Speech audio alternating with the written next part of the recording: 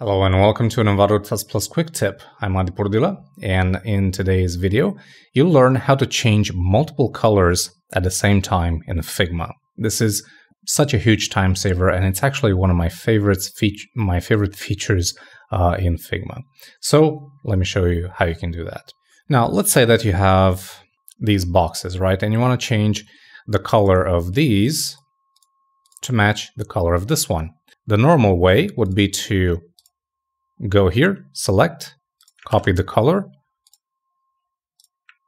and then select the other box, paste that color in. And then, you know, select the other boxes and do the same thing.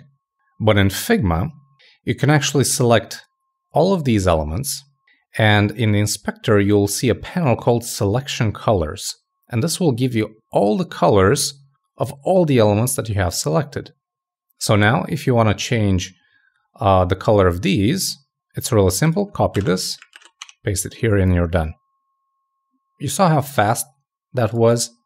It's crazy good. Also, let's say you have a different color for these elements.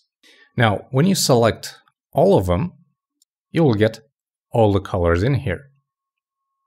And what's cool is that you can actually select the items that are using that color. Pretty nice, right? Let's select all of the elements in my page. Again, I'm using, I'm seeing all the colors being used. And if I click this button, it tells me that, hey, you have six items using this color.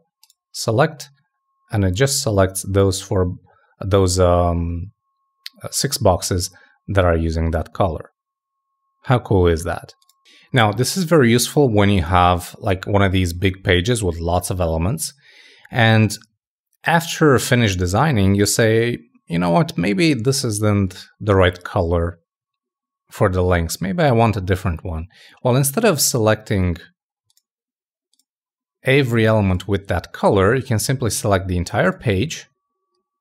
You can scroll down to see all of your colors here and you can say, okay, let's change this one to maybe something with red. I don't know.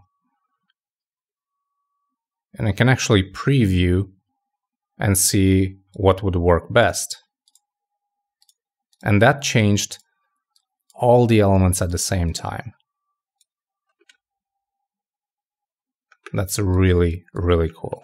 All right, and that's how you can use the selection colors panel uh, in Figma to change multiple colors at the same time. Thanks for watching this quick tip. I'm Adi Purdila, and until next time, take care.